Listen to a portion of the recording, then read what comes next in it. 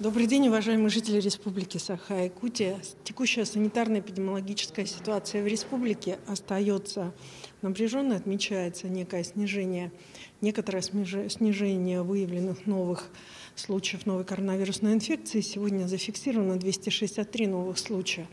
116 случаев сохраняется в столице нашей республики, а продолжается сохранение большого количества случаев в Мирнинском, Нерюнгринском, Алданском Хангаласском Улусе, в Ленском и Мигино-Кангаласском.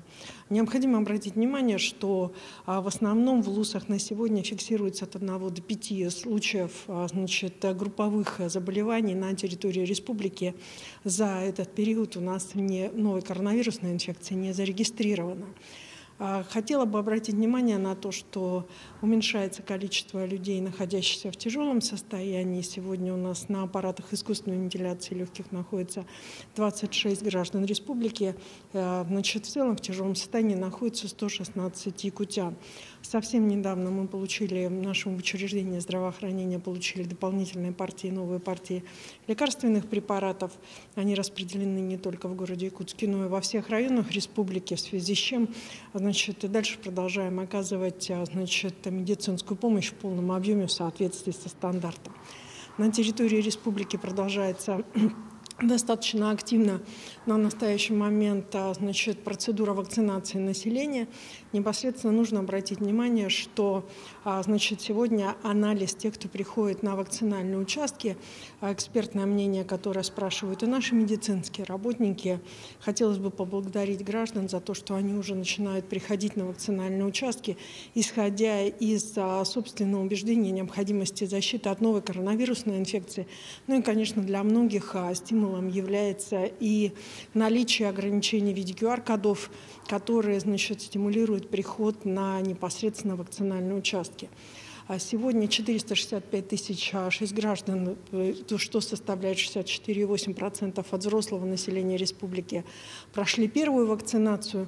А в целом а, необходимо обратить внимание, значит, по Российской Федерации мы находимся в первой, э, значит, в 15 первых субъектах Российской Федерации по первой вакцине и по второй вакцине примерно в этой же категории граждан по Дальнему Востоку выглядим также не самыми худшими, значит, ну, вторыми по количеству и по процентовке от а, получивших вакцину, но мы понимаем, что а, значит, очень важно, чтобы сегодня в каждом населенном пункте как можно больше было провакцинировано людей.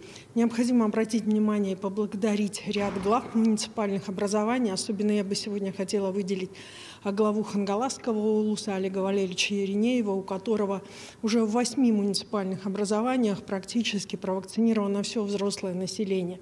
И, соответственно, значит, это дает и результат ему в целом для такой вот уверенности, э, значит, в общем, такой вот безопасности, да, само, но есть в том числе и а, населенные пункты в Хангаласском Улусе, в котором небольшое количество Необходимо сказать, что у нас сегодня особое значение имеют граждане, а, которые старше 60 лет. Их провакцинировано всего 90 тысяч граждан. Но еще хотелось бы еще раз обратиться к детям, к сестрам, к братьям, кто имеет старших сестер, родителей, бабушек и дедушек. Сегодня другого способа, кроме вакцинации, нет. Особенно она необходима для тех, у кого ослабленное здоровье.